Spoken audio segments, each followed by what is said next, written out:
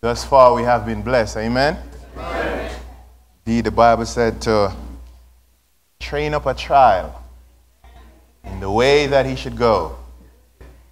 When they're old, they will not depart from it. God blesses the little children. They are the future of the church. We have to train them aright. May God bless the parents as well. I am happy to be here this Sabbath. Has been a while that I've been away from you. But I want to assure you that even though you haven't seen me, you are in my prayers. I've been praying for this church, the members, and the leadership of this church because there are not many churches like these around. So, indeed, we have to pray that God will continue to bless and to uphold this church. This morning, I want to speak to you lessons from First Kings, particular repairing the altar. As I thought about this message, I thought to myself, what title should I give to this message? It will be a series of messages which I intend to bring from First Kings in particular. But I thought to myself when I reflected on the ministry of Jesus Christ. You know, thinking about it, Jesus never named his sermons. It was men that gave name to Jesus' sermons. Amen. Take, for instance, Sermon on the Mount. Did Jesus name that sermon Sermon on the Mount? No, he did not. It was man that gave it that name. It is as if, as Jesus surveyed the congregation in which he was at the time, he developed that particular message for that congregation. And I believe as ministers that we ought to pattern Christ closely. Sometimes you may go to a church and you have a particular message, but based on what you see, you have to switch that message. Be instant, in season, and out of season. So this morning I'm coming from First Kings, and I hope and pray that you will be blessed. For those of us who have already made Jesus our Lord and Savior, I pray that your walk will become closer. Amen. But for those who have not yet, their names are not yet registered in the book of life, I pray that today will be the day of salvation for you. Amen. With that said, I'm going to pray and I ask you to bow your heads as we ask God's presence this morning. Heavenly Father, I am but a lump of clay. You are the potter this morning. I pray to your God that the words that proceed from my mouth will be words coming from the throne room above. Take away from me anything you don't want me to say, and give me that which you want me to say. I pray, dear God, that this morning we will feel the power of the Holy Spirit. Life will be changed. Hearts will be converted. Indeed, O Lord, we can say at the end of these days message, it was good for us to be here because we have gained a closer experience with the man Christ Jesus. Thank you for hearing our prayers, for we ask it in Jesus' name. Amen. First Kings, repairing the altar. You know, as an auto technician, I know a lot about repairing. It is my livelihood. And those that experience problems with their vehicle, they take it to the dealership to get it repaired. And for those who work in different spheres of life, they know something about repair. Whether you're buying, whether you have owned or renting, you know something about repairs. Sometimes the water pipe broke and you have to get a plumber to repair it. Am I right? You have to know something about repairing. And this morning I'm here to tell you, beloved friends, that the word repairing, it just simply means, in theological terms, it is restoring true worship in God's church. That's what repairing of the altar really means. It's restoring true worship in God's church. You know, it is said that coming events cast their shadows before them. You go outside and you look and you see the sky and it looks cloudy. First thing comes to your mind is that what? It's gonna rain. Common events cast their shadows before them. And beloved friends, as you experience and you go through life, we are told that the Old Testament book that we have, it is written for our admonition upon whom the kings, the ends of this world are come. Now, beloved friends, during the time of Israel as they traveled through and through, Israel went into national apostasy. It was a time when Israel did not know their true God anymore. And for that, we are going to be looking at this morning the northern kingdom of Israel. You have to understand, beloved friends, that because Solomon, who was then the king in Israel, the Bible said that he loves strange woman. He had many wives and many concubines, and it displeases the Lord. And the Lord said to him that I'm going to take away the kingdom because you have not walked in your father's David's steps. And we have this account in 1 Kings 11 29 32 that when Solomon passed, the Bible tells us that Jeroboam, the prophet Ahijah, saw him and he took a hold of his garment and he tore it into 10 pieces. And he said to Jeroboam, the Lord shall tear away the kingdom from Solomon and shall give ten kingdoms to you. And Ahijah, he, he charged Jeroboam to walk in the statutes of the Lord. And so Israel was no longer one. Israel was now divided.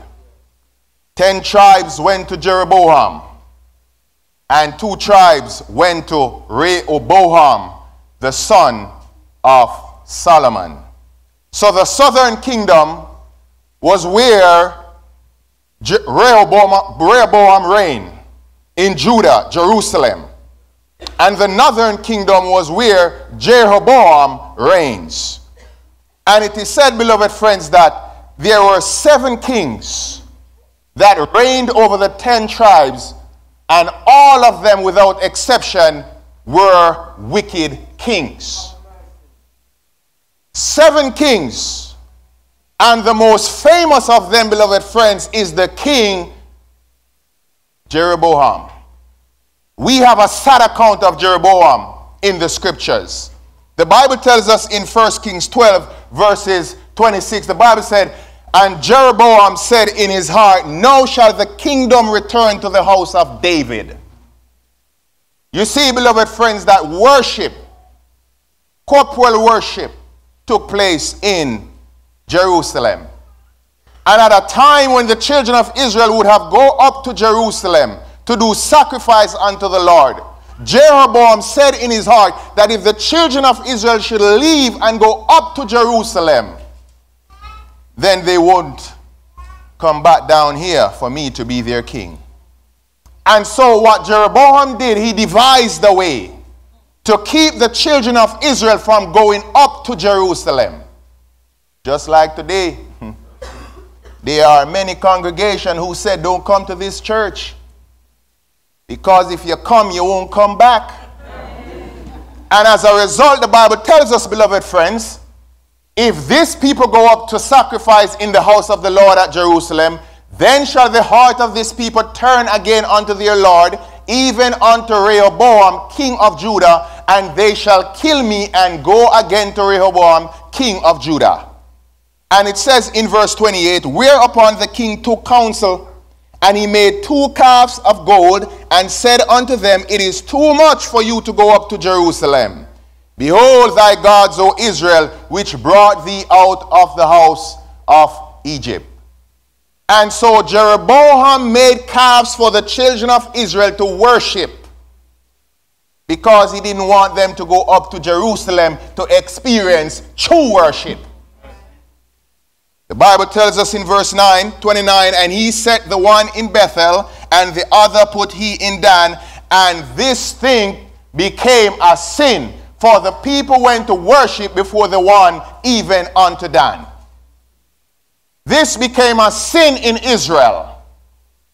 It was in the wisdom of God that God decided that He was going to take 10 tribes away from the kingdom of David and give 10 tribes to Jeroboam. But Jeroboam devised in his mind that if the children of Israel go up to Jerusalem, and as a result, beloved friends, the Bible says that this thing became a sin in Israel. Goes further than that. And Jeroboam ordained a feast in the eighth month on the fifteenth day of the month, like unto the feast that is in Judah, and he offered upon the altar. So did he in Bethel, sacrificing unto the calves that he had made, and he placed in Bethel the priests of the high places which he made. This man decided that for this new congregation, he gonna need leaders. And what he did, he devised of his own self leaders and he placed them in the high places. Priests, the Bible said, he made in the high places. Now I want you to note, beloved friends, that apostasy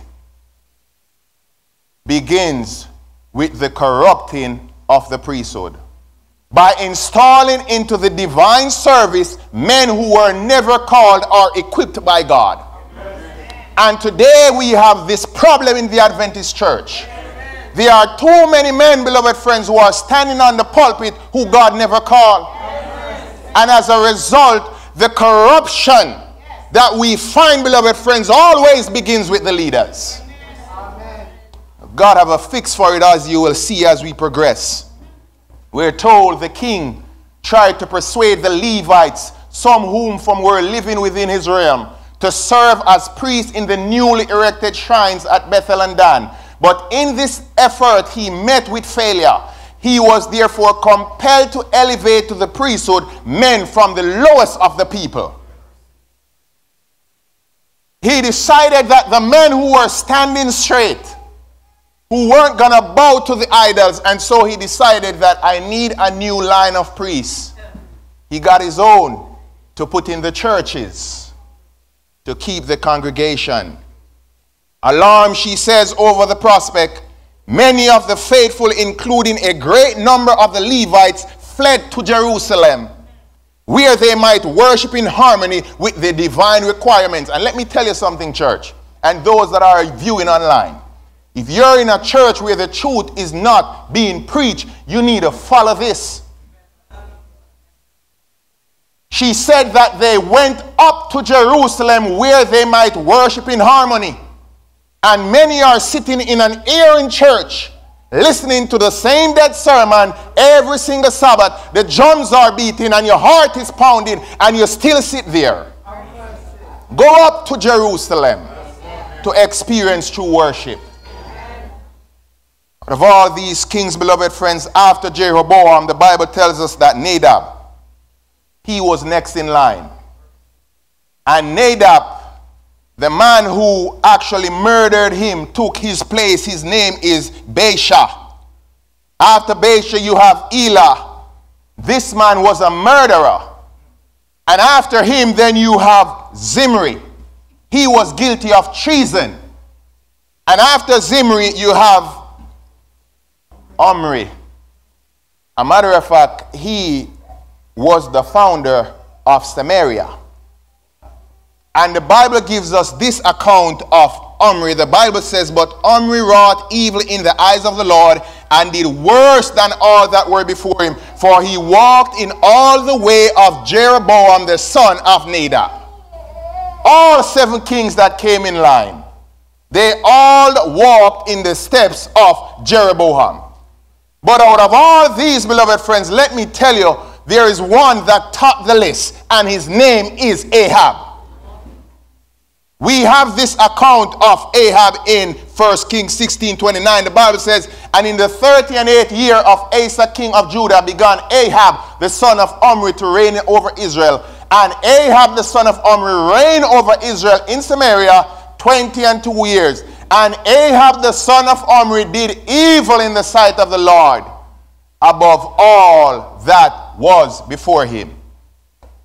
He was not a good king.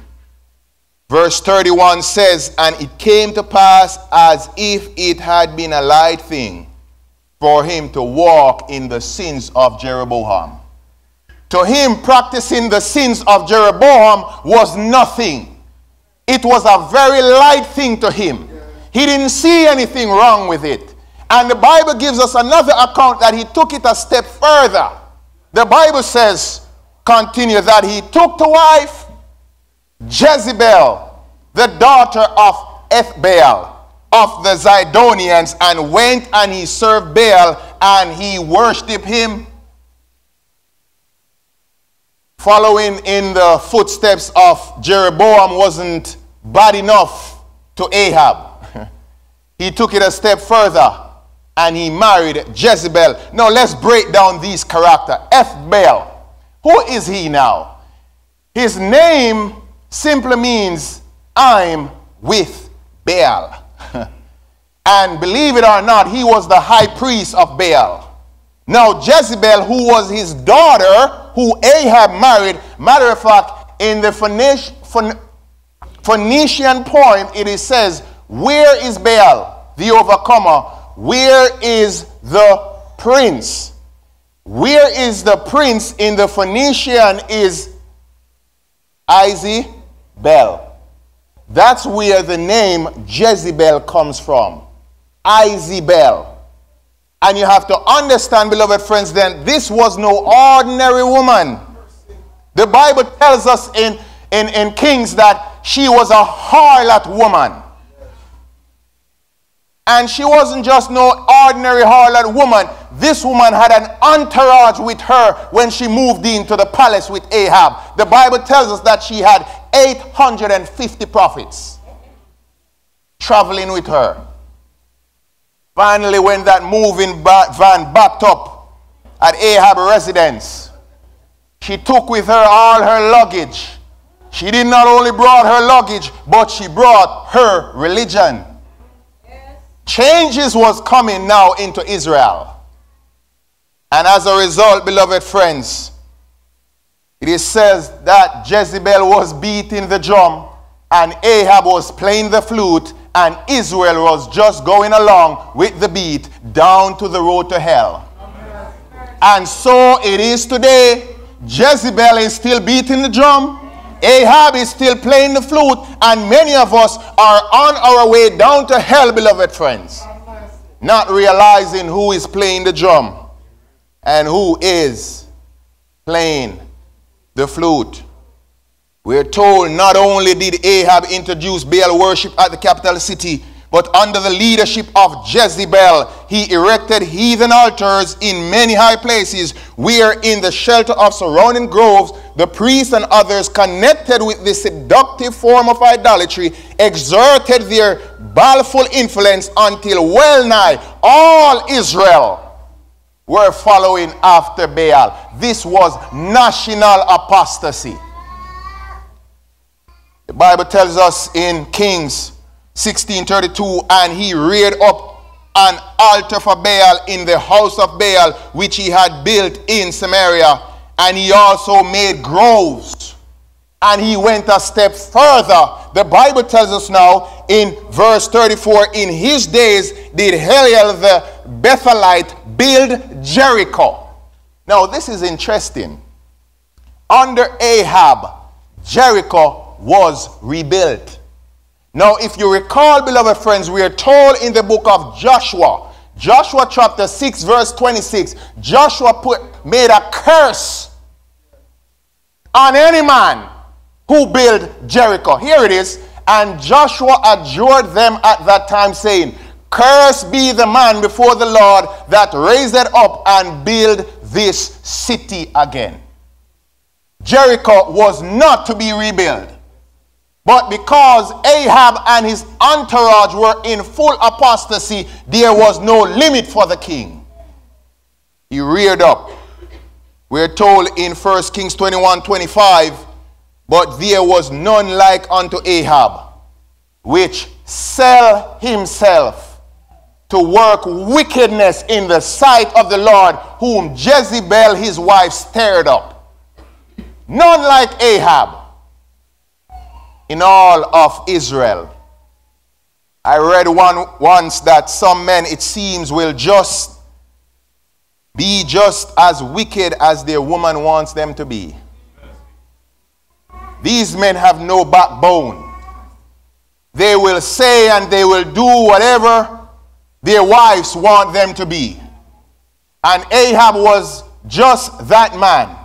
He was a jellyback man and he could not say no to Jezebel because Jezebel was the one wearing the pants. And that's what happened in a home when you have a weak husband and a strong wife. Problems because it's the other way around. We're told Ahab was weak in moral power. And his union by marriage with this idolatrous woman of decided character and positive temperament resulted disastrously both to himself and to the nation.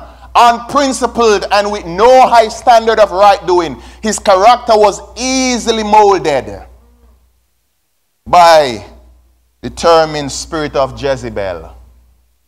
She was leading him with a string. Mr. Spurgeon said the influence of this woman was his curse and his ruin. How many men have been destroyed in that way? It is always perilous to be under the influence of an unconverted person. He said it is supremely dangerous to be under the fascination of a wicked woman. And let me tell you, beloved friends, there are many who is in the church and they're looking for a husband or a wife, and they go out and they say, Oh, yes, I'll bring him in. Oh, let me tell you, you're making one of the biggest mistake of your life. The biggest mistake of your life. Now I'm telling you, beloved friends, the Bible says, have no relationship with Baal. You can't be in the church and you're seeking somebody in the world. To create a mixture of these two is to bring confusion into your life. And so, as a result of this, Baalism now became the state's religion. Jehovah was now put out, Baal was put in. I want you to stay with me. Now, who was Baal? Let me give you a brief survey. He was the sun god. In all religion, Baal was the sun god. And he may take on different forms and call different name, but really, truly, it's still Baal. He was the sun god. A matter of fact, the Hebrew word for Baal means Lord, possessor, or husband. So, in other words, what Israel had done, they had divorced themselves from God. And they have now taken on a different husband. Now, he is also known as the storm god. And you're going to see why this is important. He was responsible for the fertility of the country. This was his role in Israel as the sun god. Now, follow me now very carefully as I read this statement. Moth, whose name means death, and he was another god, was the god of drought and what? Sterility. He presided over the dry season and appeared in Canaanite mythology as what? Baal's chief antagonist. When Moth came, Baal's time was over and he had to pass from the scene. He was ordered to take everything connected with fertility into the depths of the earth. As he descended into the earth, the season of drought arrived, and rain and clouds vanished. The streams dried up, and the, the vegetation languished. Follow me now carefully. Baal's worshippers, they would cry out to Baal when they want, and they were asking for these things in Israel. Where is Baal the overcomer? during the dry season. Because remember the statement we read, when moth come, he had to what? Go underground. Because the dry season has come. So they cry out, Where is Baal? Where is the prince, the Lord of the earth? Our king is Baal the overcomer, our judge, and no one is above him. This is how Israel, the God that brought them out of Egypt, this is what they were doing at this time. Baal worship was the most degrading religious system ever devised, and the Phoenician Baalism was the worst of the lot. It's thought by some scholars that the Phoenician coast was settled by the refugees from where? Sodom and Gomorrah, who fled the valley of Sidon when their cities were destroyed and who brought with them their depraved culture. So don't think of Baal worship as just bowing down and just worshiping. It goes much deeper than that, beloved friends. Now, let me give you a list of things that Baal worshippers, the children of Israel, was engaging. We're going to make the application. Just stick with me.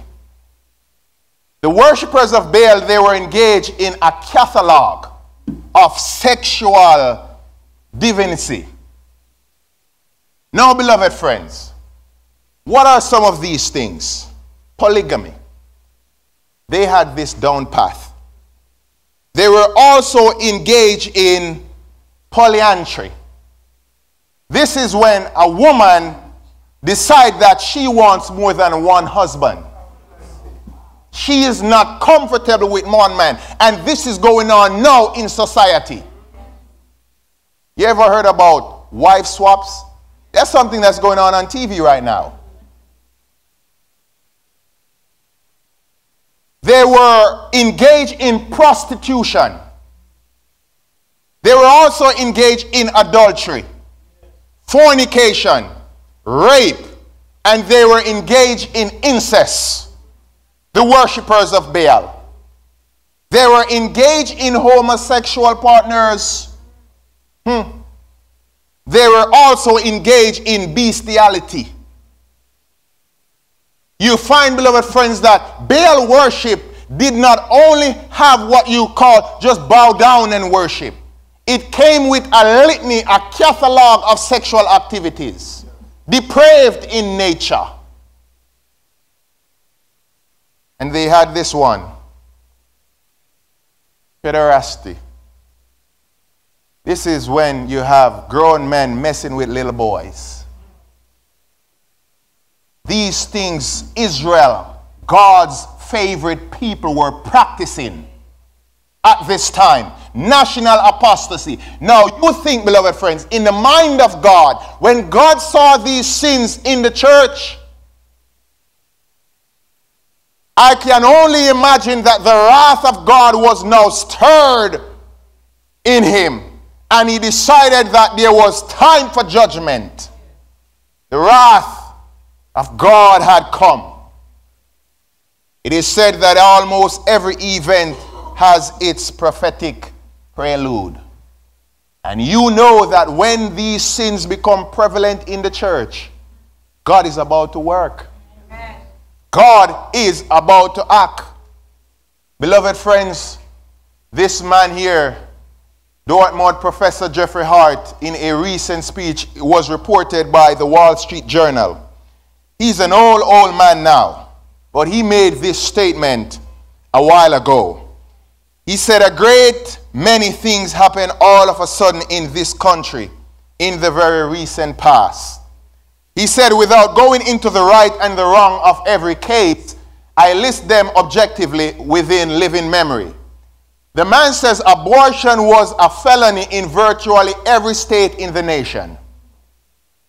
And he says demands that it be federally funded are alleged to be rooted into the Constitution. Did you know that? He goes on to say that hardcore pornography was largely kept out of sight. He says, usually by a rough argument between sellers and authorities, He says now the hardcore stuff is available in every newspaper. It's available on your television and it's available on your smartphone. You better be careful what you type in. He goes on to say homosexuals were for the most part discreet. Suddenly we find that the demand public legit legitimization of their what? Peculiarity, stage parades, demand and representation in government bodies as a legitimate minority. The man says, This is where we are right now. They were discreet, beloved friends. But not anymore. They are now out of the closet, and it now seems that they are the majority and we are the minority. You dare not speak out against them.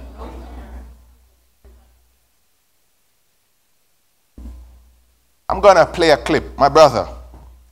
And it's around three minutes long, but I think it will be worth your time Welcome watching. to Christian World News, everyone. I'm Wendy Griffith. And I'm George Thomas. In Canada, a radical sex ed curriculum being pushed in public schools by the LGBT community has parents afraid their children will become confused and even brainwashed. That's exactly right, George. But as I discovered in my recent trip to Canada, there could be a silver lining. This issue is waking up a sleeping church. A family can be made up in many different ways. It's called SOGI for Sexual Orientation and Gender Identification, a curriculum that teaches public school students across Canada to celebrate the homosexual lifestyle and that gender is fluid. In other words, your gender is not dependent on what parts you were born with, but rather what you feel like in the moment. There's people that are boys, there's people that are girls. There are, peop- there are people whose gender might be a little bit of both or might even be neither. Lessons include books about transgender children, such as 10,000 Dresses, and songs like the Rainbow Song. Gender won't decide the choices we make. Some boys like dressing up, some girls like catching snakes. The SOGI curriculum started in British Columbia in 2016 and is quickly spreading throughout Canada. I just thought, who decided that this was okay to teach our children? Author and inspirational speaker Laura Lynn Tyler Thompson is a leading voice against the SOGI curriculum. And we are seeing the results of that now because some kids are reacting very emotionally and saying, you know, and they're in fear. Will I be, you know, will I suddenly struggle with feeling like a different gender inside of my body? Kari Simpson of Culture Guard, another leading opponent, calls the curriculum nothing short of child abuse. all those beautiful qualities that make young girls beautiful girls and women are being basically vilified. The things that make our boys boys are being, you know, taken from them. Um, so things of equating young men to being strong protectors is something that's now evil. But Morgan Oger, a transsexual and supporter, claims it's about acceptance, not indoctrination. The idea is to teach kids that there are gay kids and there are trans kids and there are trans parents and gay parents in our society and, the, and everybody's wanted and desired. After all, that's what our Human Rights Code says and it's the role of schools to teach the, to teach the following of our laws, right? Simpson disagrees, saying she sees SOGI's real goal as altering our culture from a heteronormative society into one where anything goes, no boundaries, no values, no morals. Um, it's a hedonistic uh, cult, basically, what they're im- implying. Another blaring example drag queen story time. It's happening in Canada and America, where some public schools and libraries invite drag queens, some dress like torn demons, to read to young children. And it's a social deconstructionist agenda. They're using children, little five year olds, to accomplish this, and parents are waking up and saying no. When asked about parents' rights, Oger says, Well, actually, in Canada, parents' rights are limited and children's rights are put ahead. Church, let me tell you, this is no other than Baal worship in another form. They are using children to push their agenda. A matter of fact, the story goes on to say that a little boy was in the toy room playing with a girl toy, and the teacher comes in and said to the little boy, Oh, you're playing with a, with a girl toy. You may be a girl. These are things that are happening in the schools, beloved friends. And this is where we are today. It is nothing more than Baal worship in another form. With all its catalog of activities. And today, everybody is silent. Nobody says nothing. What is happening to us, beloved friends? Where are the voices to cry out about these things? Nobody wants to get in trouble. So everybody just sits still and say nothing. David says in Psalms 119, he says, It is time for thee to act, O Lord, for they have made void thy law. These things will bring the judgment of God upon this world. And as a result, if everything goes, it is now a growing sense that nothing is true and everything is permitted. If nothing is true, then yes, everything is permitted. Because nothing is wrong. Fedor says in his book if God does not exist, everything is permissible. And this is where the world has taken the church. Because in the church now, if you tell someone that what they're doing is wrong, they said, Who told you that? It's permissible. Our scripture reading David says in Psalms 12 8, the wicked walk on every side when the vilest men are exalted. Today you do right. They don't think of you as being a good person. The wicked walk in the street when the vilest man is exalted. And today, vice is applauded and virtue is trampled underfoot. That's the society we have come to live in this 21st century. The Bible says in Isaiah 59, verse 14, Judgment is turned away backward, and justice standeth afar off, for truth is fallen in the street, and there is no equity he goes on to say in verse 15, Yea, truth faileth, and he that departed from evil maketh himself a prey. That's the society we are living in, beloved friends. And it had made, it had infiltrated the church. The wise man said in Ecclesiastes 8:11, because sentence against an evil work is not executed speedily.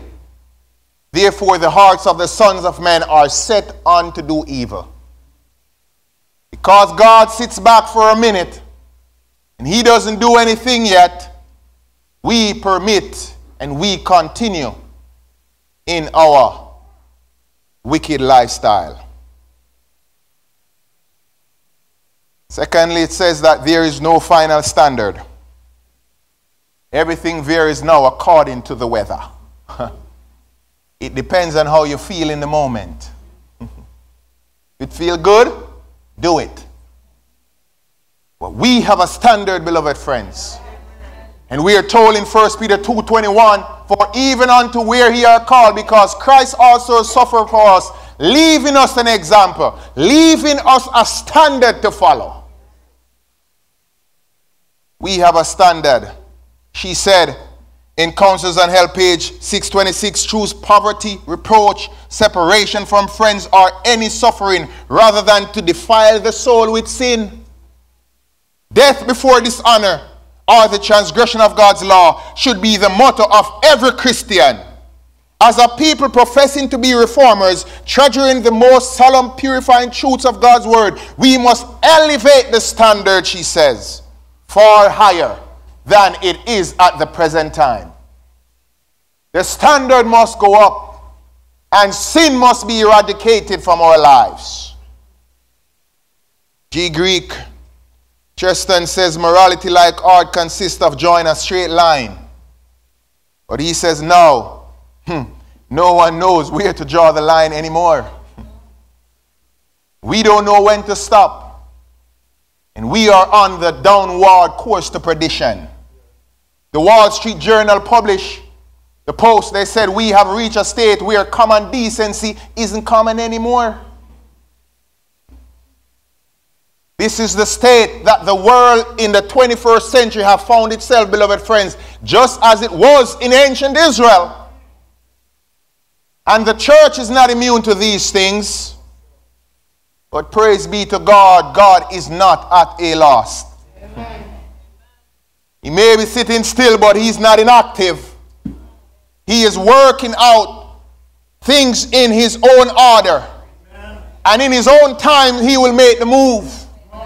We are told in Patriarchs and Prophet, page 115, that darkness as a shadow covered the whole land in Israel. And today you find that the church, beloved friends, is heading down that path that ancient Israel was in. But I picture in a man's eyes, there was a man somewhere, and he was God's man, a man named Elijah. He was the man to check the evil in Israel. But I picture is Elijah this morning. Let's say Elijah goes to school to sit down. And as the teacher looked at him, he noticed that this little man was different. His dress was different. His speech was different. And the teacher said to Elijah, Young man, we're going to start with adjustment this morning. You need to be adjusted. You need to adjust yourself now to Jezebel. You need to adjust yourself to Baalism. You need to adjust yourself to the way how we do praise and worship around here. You need to adjust yourself to the drum playing. You need to adjust yourself to the beat this morning. Praise be to God. The man of God would have none of that. We are told that the worship of God will become corrupt unless there are wide awake men at every post of duty. Praise God, Elijah was at his post of duty. Mr. Spurgeon says, When nations are to perish in their sins, it is in the church the leprosy begins. The priest whose office is with zeal sincere to watch the fountain and preserve it clear. He carelessly nods and he sleeps upon the brink while others poison what the flock must drink. The unsuspecting sheep believes it pure, tainted by the very means of cure.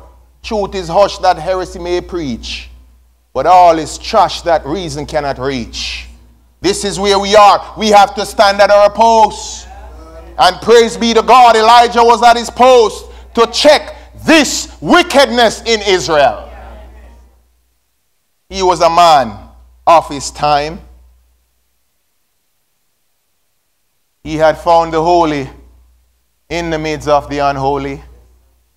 Oh, yes, he had found the infinite in the midst of the finite.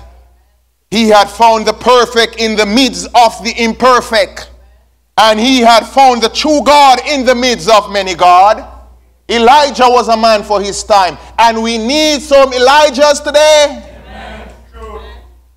to repair the altar of the Lord. She says Elijah saw Israel going deeper and deeper into idolatry. And his soul was stirred and his indignation arose. As he saw Israel heading deeper and deeper, and as you see this Adventist church going deeper and deeper, your soul must arouse in you. I picture this man as he sits and he contemplates. He remembers how God led the children of Israel when Moses met the great Jehovah at the burning bush. And I know he pictured Moses on his way down into Pharaoh's court. He pictures when Moses gave these signs to let them know that Jehovah God reigns. He pictures Moses gave these signs, beloved friends, to let them know that God was in control of nature. There were hails, There were locusts, and finally darkness came upon Pharaoh's house. Yes, he pictures the children of Israel leaving Egypt under the mighty hand of God. He pictures Moses as he stood upon the rock and he said to the children of Israel, Fear not, for today you shall see the Egyptians no more. He pictures them walking through the dry ground. The Bible tells us in Hebrews 11 29 that by faith they walked on dry grounds. I know that he pictured the children of Israel as they traveled through that water, beloved friends, that Pharaoh and his army pursued after them. And he saw how God took the wheels off Pharaoh's chariot. they were all drowned. Yes, he pictured the children of Israel as they were there at the base of Mount Sinai, and God spoke in thunderous tones, and they quaked and trembled at the voice of God. Finally, he pictured the children of Israel. God gave them rest under the leadership of Joshua. Finally, beloved friend, Deuteronomy 28 8, the Bible says, And the Lord brought us forth out of Egypt with a mighty hand, with an outstretched arm, and with great turbulence, and with signs and wonders. God led them out of Egypt. Oh, you hearers here before me this morning. Had not God led you out of Egypt? Did not God lead you out of spiritual Egypt? But sadly, some of us, while we profess to be worshiping Jehovah, we are still at the shrines of Baal.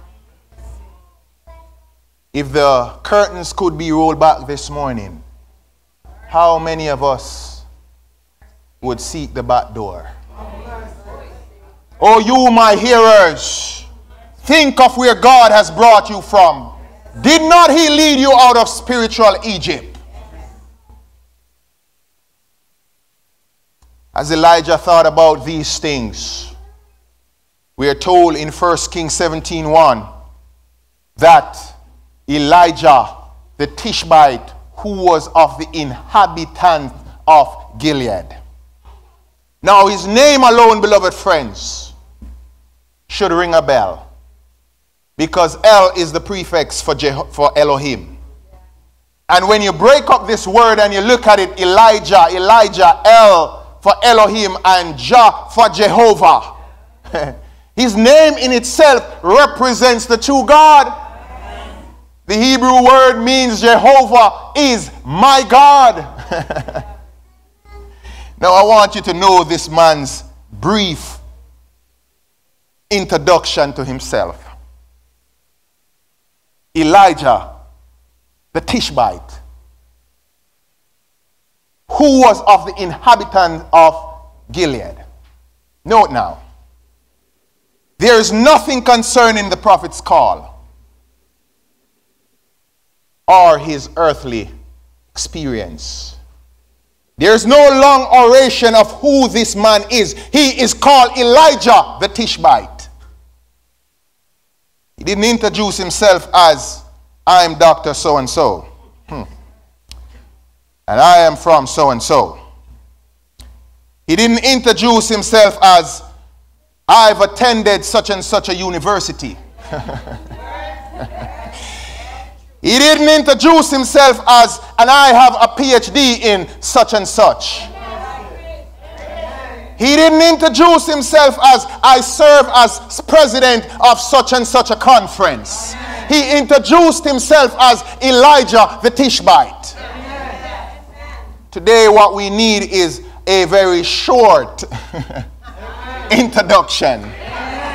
We don't need to hear all your qualifications.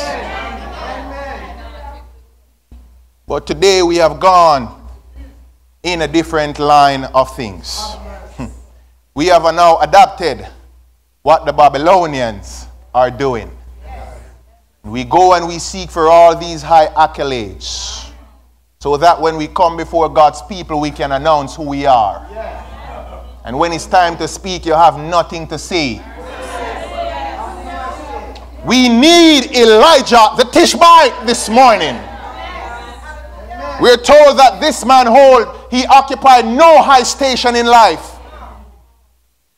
He is only introduced as Elijah the Tishbite from the inhabitants of Gilead.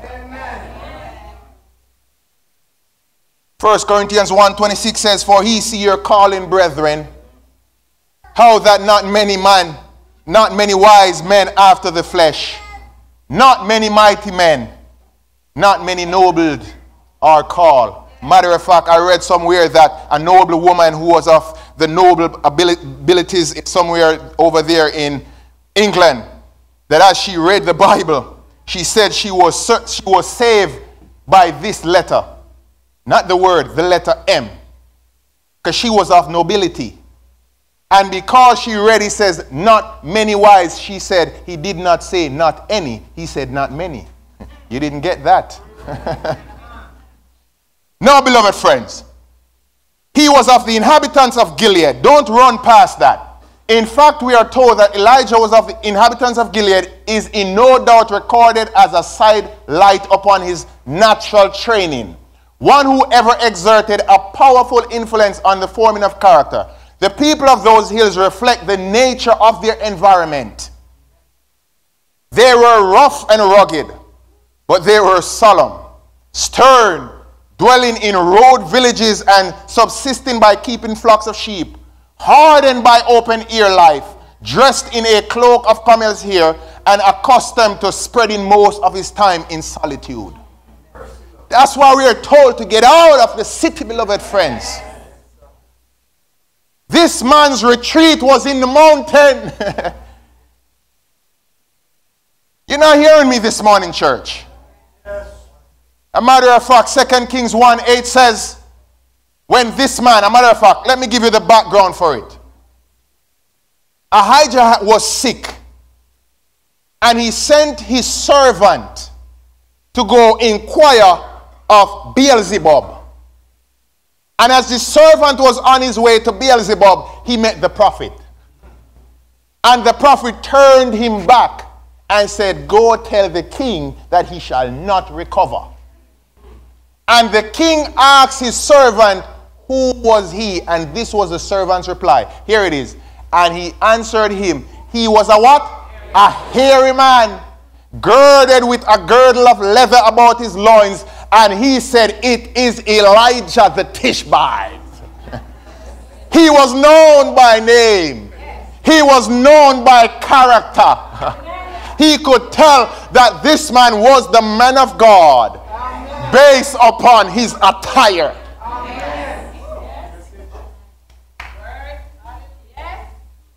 Are you known by your dress this morning? Are you known by what you're wearing? When you go out on the street, can they tell that you're a seven day Adventist? Are you dressed above your knee this morning? Or is it below your knees? Are your pants close to you this morning?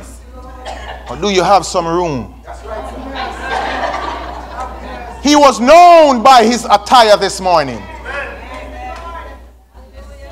First Kings 19:10 says, and he said, I have been very jealous for the Lord God of hosts, for the children of Israel have forsaken thy covenant. This man had a burning in his heart because the children of Israel had forsaken the covenant of the Lord. They were worshiping Baal. They found themselves in promiscuous activities. Their attire had changed. Their style of worship had changed. And there was need for a repairing of the altar. Elijah the Tishbite. My text this morning that was read so ably David says, If the foundation be destroyed, what can the righteous do? Well, I have another question. What did Elijah do? When Elijah saw that the foundation was being destroyed, what did he do? We found the answer in James chapter 5, verse 17. The Bible says Elijah was a man subject to like passion as we are, and he prayed earnestly. the man was praying Amen. for Israel. Yes, are you praying this morning for Mother and Israel? Amen. The foundation were being destroyed, and Elijah took to his knees. Yes. The man begins to pray, beloved friends. Oh, Mr. Spurgeon says, constant in prayer. Elijah found himself being constant in prayer. He was praying for the welfare of the church because he saw the church going down. The church was heading down to never be recovered. He saw Elijah, he was instant in prayer. At all moments, not actually on your knees praying, but always in the attitude of prayer. Oh, when someone cross you at work, you have to be in the attitude of prayer. And I'm telling you, I was surely tempted this week. and I said, Tell your beloved friend, the devil got the best of me. But I'm praying that God will have mercy.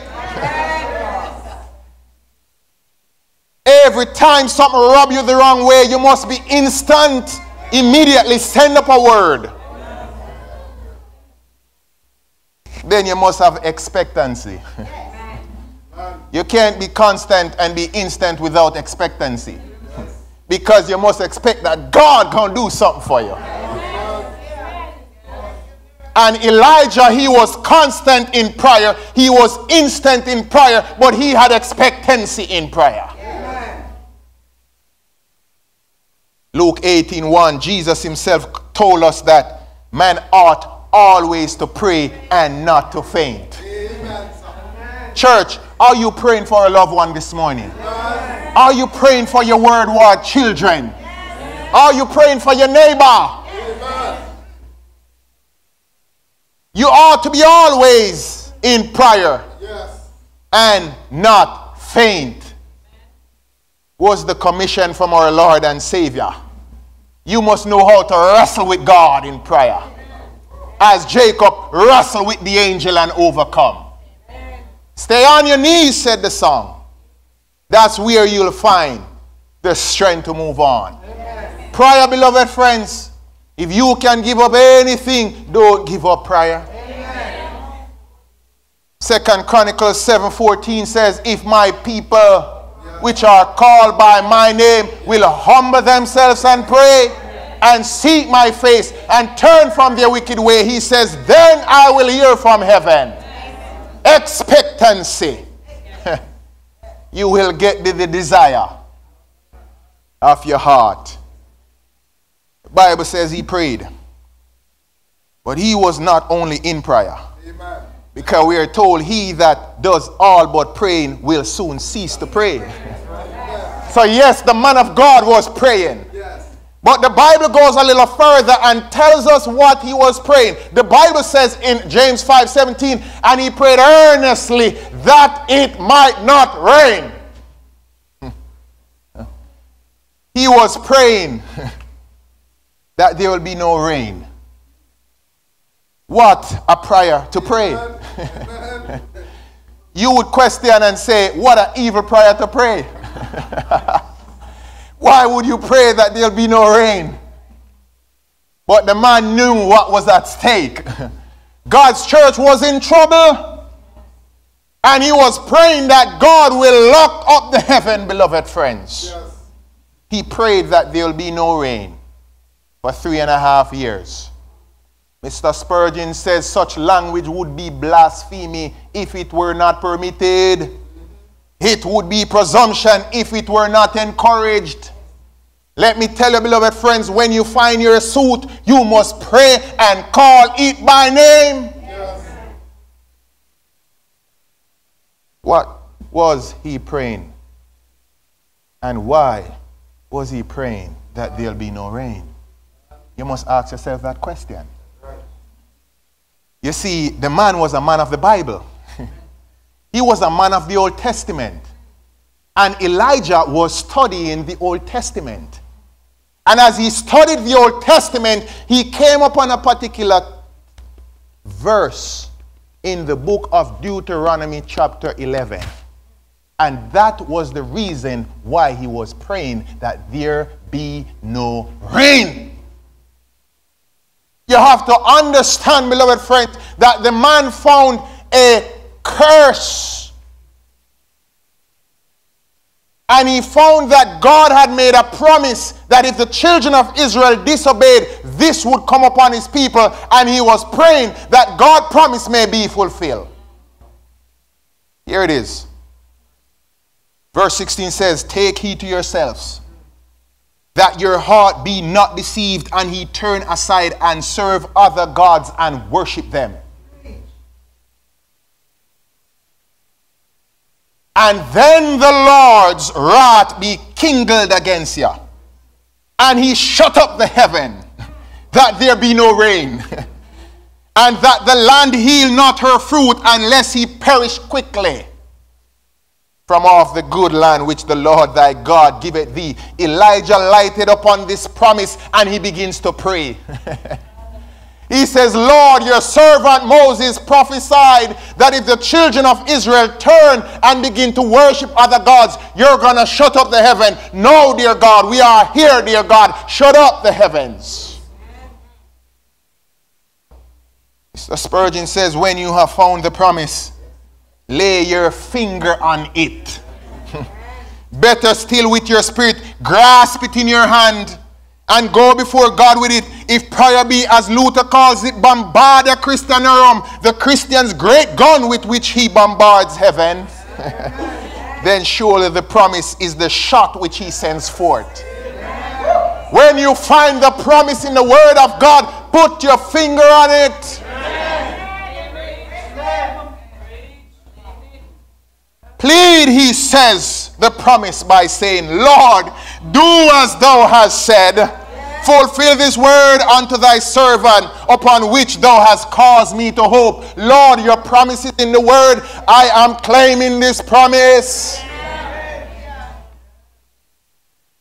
Elijah had found it. And he was claiming it. the Bible said he prayed earnestly. 1 John 5 14 says, And this is the confidence that we have in Him, that if we ask anything according to His will, He hears us. Amen. Church, let me tell you, when you find God promise, if it's according to His will, He have to hear us. He can't deny us. He may say, wait, but he have to hear us. Amen. Because God is not a man that he should lie. She said, the word of God came to, the word of the Lord came to him, and jealous for the honor of God's cause, he did not hesitate. The man prayed, and finally, after praying earnestly, the word of God came to his ears. And when he heard it, she said he did not hesitate to obey the divine command. Let me tell you, church, some of us make so much plans that we have no room for God in our plans. We are praying for something, but our plans are interfering with what we're praying for. Elijah made himself available. He had rooms in his plan. he was praying, but he was praying, and the word came to him to go see Ahab. The word didn't come to someone else, the word came to him because he was praying. Some of us, we are praying that pastor not do so and so. Why you don't pray that you do it? If the word came to you, why don't you do it?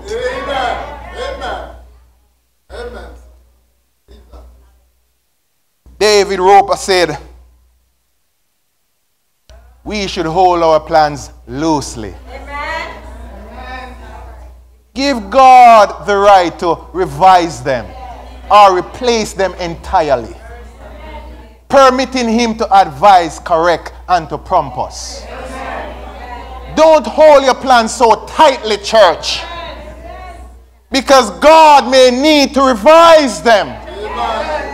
Some of us are planning to go east, some are planning to go west. You better hold it lightly. Because God may have a different plan for you. In the providence of God, you may want to go west. God's providence lead you east. Hold them loosely.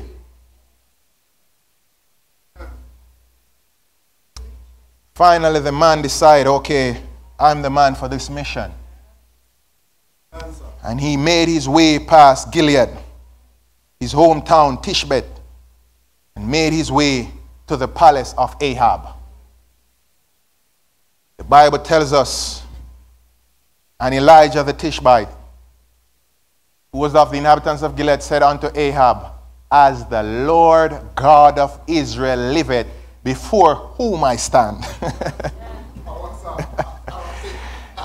For the first time, the man of God shows up to the king.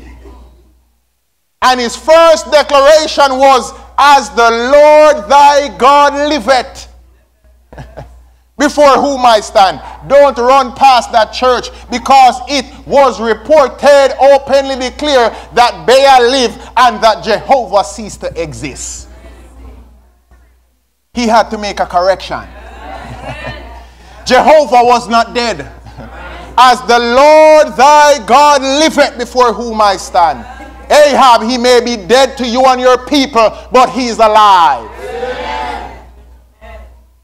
Let me tell you, church, you may see the apostasy taking hold of this church. But as the Lord God liveth before whom I stand, he will have some Elijahs. He is not dead. Now, what gave this man this braveness? to stand before the most powerful man in Israel to give him such a charge as this. Take notes. Prayer in private was his source of power in public.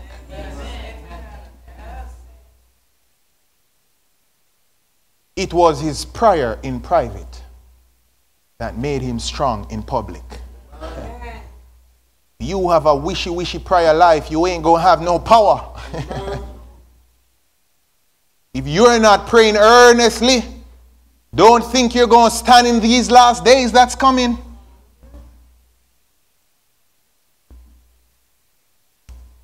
As I close, this man was praying, he was studying, and he faced the king boldly told him what he needed to tell him. Before he says, There shall not be dew nor rain these years. Elijah could stand on this promise because he found it in the Word of God. And the Word of God came to him. Go show yourself to Ahab and tell Ahab this that there shall not be rain nor dew these years. A matter of fact, Josephus, who was the, Jew, the, the, the, the Jewish historian, he was quoting the Greek historian, his name is Menander, and he recorded that under him was want of rain from a secular source. So this is just not no Bible story. He was repairing the altar. And after the man gave his charge to the king, we are told, like a thunderbolt from this clear sky, the messenger of impending judgment fell upon the ears of the wicked king. But before Ahab could recover from his astonishment or frame a reply, Elijah disappeared. Abruptly, as he had come without waiting to witness the effect of his message. The man gave his message, and before the king could do, he was gone.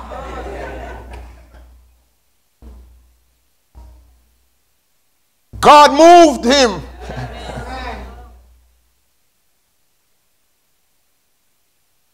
Church, we need the faith of Elijah. We need the power and spirit of Elijah. And as we go through these studies, we're going to pick up on the Elijah of the New Testament and so on and so forth. Amen. For three and a half years, there was no rain in Israel. Barrenness, dryness, thirstiness, wantingness.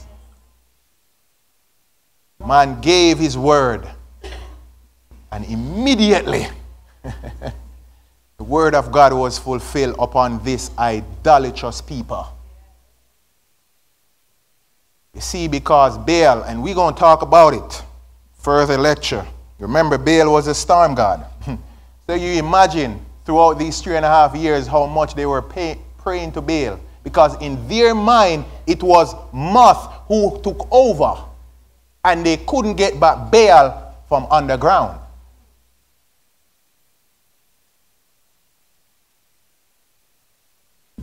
There was a famine in the land for three and a half years.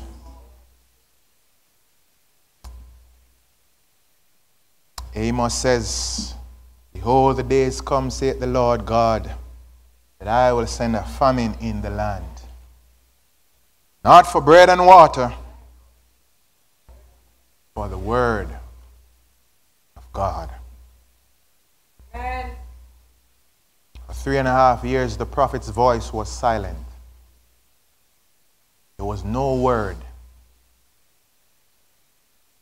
It was shut up. Cause of apostasy.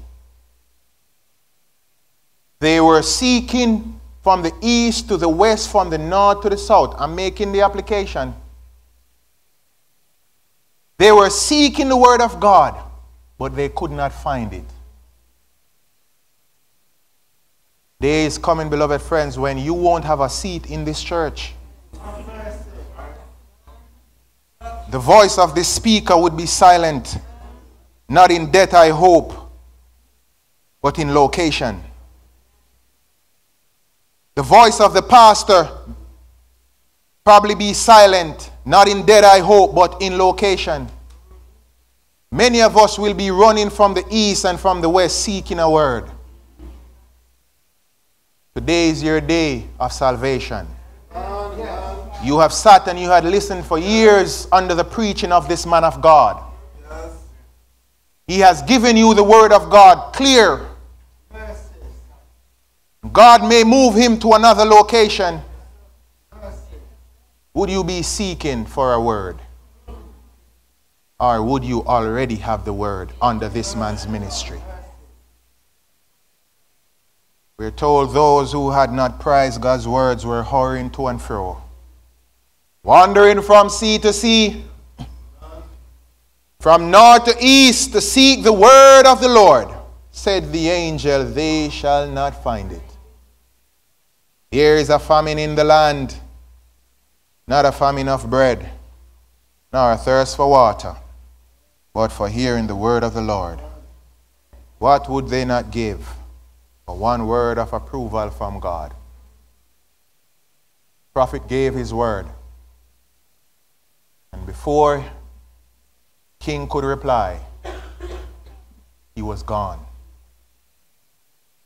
Church, where are you this morning in your experience?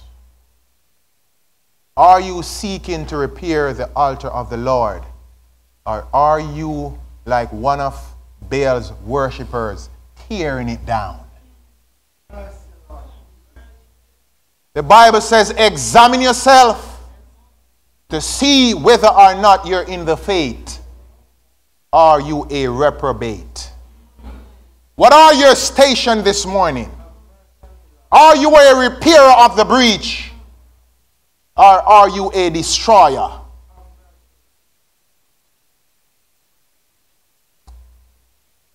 God will have a people in these last days to repair the altar. And I pray, God, that all of you who are here under the hearing of my voice and those who are viewing us live, you have not yet made Jesus your Lord and Savior, I am here to tell you that you are tearing down the altar. You are not a repairer. You can't be on the fence, beloved friends. You must either for God or against Him. You can't have two masters. You can only have one. And I am here to tell you bluntly if you are not a follower of Jesus Christ, you are tearing down the altar.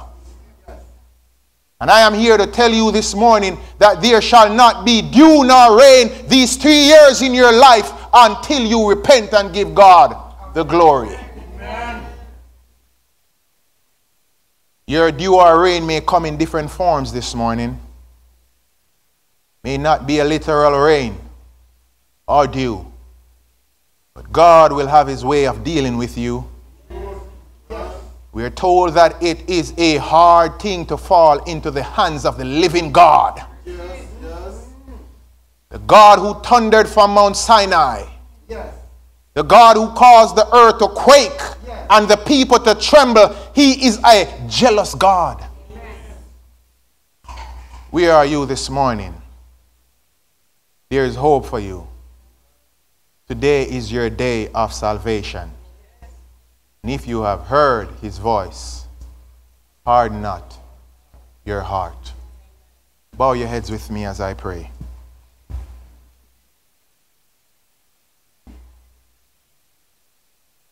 Eternal God and Father, we thank you, O God, that we have heard a word from your throne room.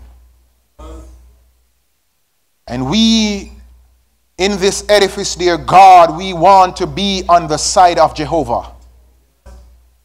We want to be the Elijahs of this 21st century. We want to be repairers of the breach. We want to be the restorers of path. We want to restore true worship in Israel. And we want to call sinners out of darkness into this marvelous light. Help us, dear God, that we will be a church in prayer. We will be a church that is working while we're praying. As Elijah made his way from Gilead to the palace of Ahab, help us to make our ways to the homes of lost, lost souls this afternoon. As we go out, dear God, to seek men and women to build up the kingdom of God, to show them that there's a heaven to gain and a hell to shun. Let your angels go before us. We claim your promise. And your word says, Go he make disciples of all nations, teaching and baptizing. Lord, we are claiming that promise this afternoon. Go before us as we seek to go in the power and the spirit of Elijah. And help us, dear God, that you will save us at last when you come. And every voice will be hushed and all those that stood against you will be silent. May we be among the few that will be saved at last. In Jesus' name we pray. Amen.